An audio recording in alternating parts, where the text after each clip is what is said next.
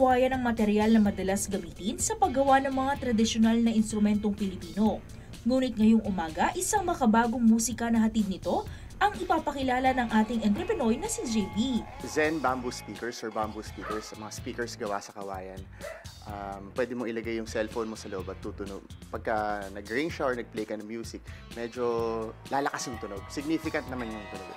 Napili ko to, aksidente lang. Pero fascinated na ako about sa kawayan nung araw pa. So, ah, naisip ko lang siya. Sabi ko, marami nang gumagawa nito noon eh. Pero hindi hindi siya pinalalaki or pinapaganda. So, nakakita ako ng opportunity. Sabi ko, bakit hindi ko kaya improve to or para pagandahin? Ayun, doon na nagsimula. Gumawa ako ng mga maliliit na prototype. Um, kung ano-ano nilagari kong kawayan, ho, ng hugis, iba-ibang hugis.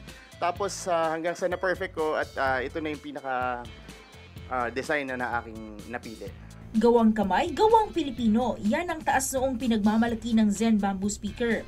At mula 2013 hanggang sa kasalukuyan, ay tuloy-tuloy ang pagbulusok ng negosyong kawayan na ito. 100% pride in it because Filipino made at mga actually kapag may foreigner na pumupunta dito, lagi kong pinapakita to at lagi silang tuwang-tuwa dito.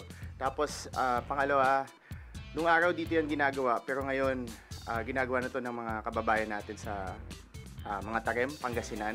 Also meron tayo sa ah, Pampanga.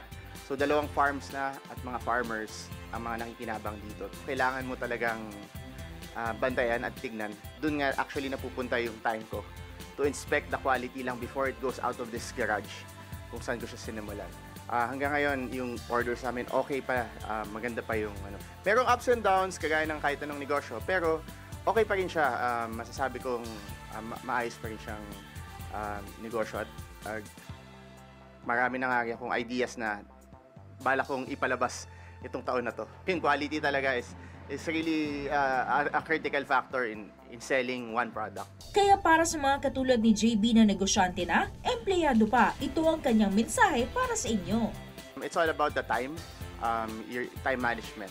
So you you allot some time dito sa sa, sa business side and also you have a allot some time on the um, on the corporate side. I think ang advantage ng ng both is you you you get to incor- incorporate or naipag-ugnay mo ang importansya ng pag, pagkakaroon ng sariling negosyo at yung day job. At um, personally, I think magkakaroon ng per, ang negosyong sarili, mas mahirap, mas magagaling ang mga negosyante para sa akin kaysa sa mga nagiging empleyado. Hindi ko naman sinasabing mas mababa, pero mas mahirap ang trabaho nung may, may negosyong sarili at napapangalagaan niya yung negosyo.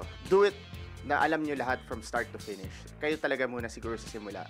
Talagang pursige mo lang. Marami kang dadaanan talaga na napakahirap na mga sitwasyon na hindi mo akalaing dadaanan mo, pero ganun talaga. Pero pag nalampasan mo na yon, masarap yung pakiramdam. At pag marami kayo natulungan, mas masarap yung pakiramdam.